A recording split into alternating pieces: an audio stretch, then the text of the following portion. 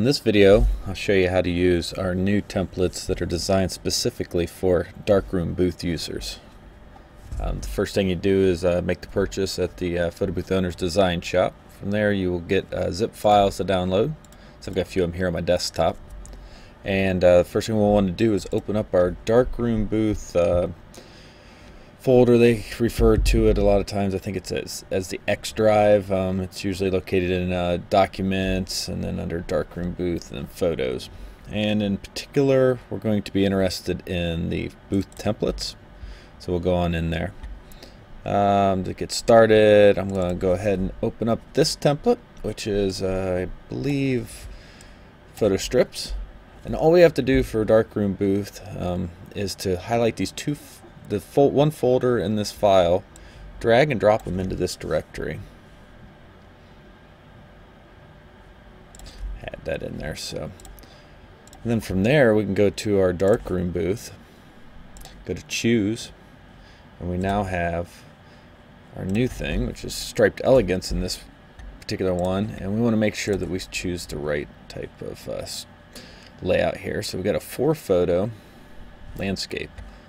So just to kind of show you how that is real quickly, um, you can go in then from there and you can edit and you can add in um, any of your text layers. Um, we also,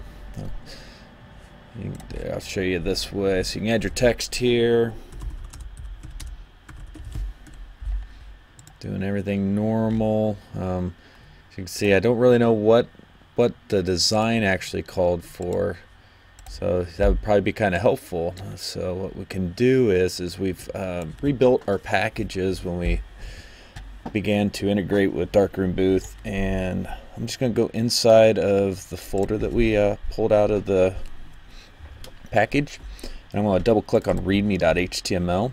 It's going to bring me up information about this and most importantly it's going to tell me all the fonts and give me links to where I can go download these fonts from.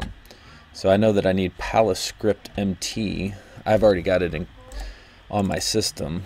I can actually come here. I've got a lot of fonts.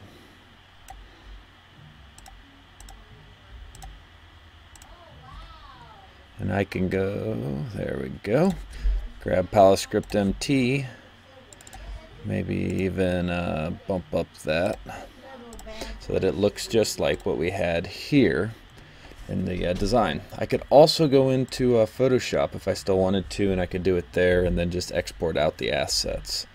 So um, that's how easy it is actually to use our new templates for Darkroom Booth. If you have any questions, um, please feel free to ask us on the Photo Booth Owners forums. Um, you can get there quickly at photoboothforums.com.